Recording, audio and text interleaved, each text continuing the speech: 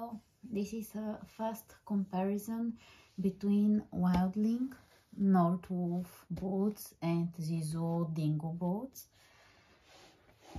So the Wildling are kind of waterproof when impregnated and this is wool so it is naturally uh, water repellent also some small spots from another liquids for example juice they're easily brushed off.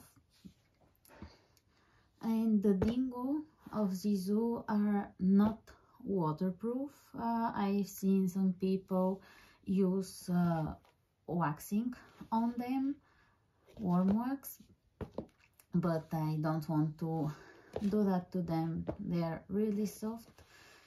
Uh, and they have uh, some other plus sides. For example they are really warm in fact. Inside uh, you have this thick wool uh, and uh, compared to the wildlings they are uh, more warm. The wildlings have wool lining inside. Also I have the woolly accessory inside. So I have a double wool but the Zeazoo are really warm. I think they are for dry winter when you don't have to jump in puddles etc the wildling I uh, I think that they can uh,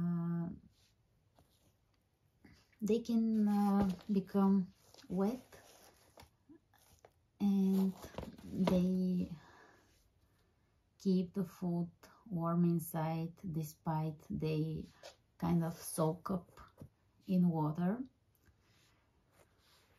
The Zeazoo ones you have to definitely size up because of the thick lining inside. The wildlings are uh, more spacious are more spacious. I have them in the size 40 and these are 39 I think uh,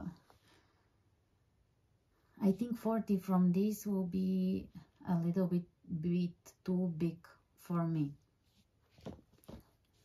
So yeah the Zeazoo ones are taller yeah like that and they don't have this lace these shoelaces they are kind of really slow to to buckle up. And this you just put them on and you go. So yeah that's a quick comparison. Bye bye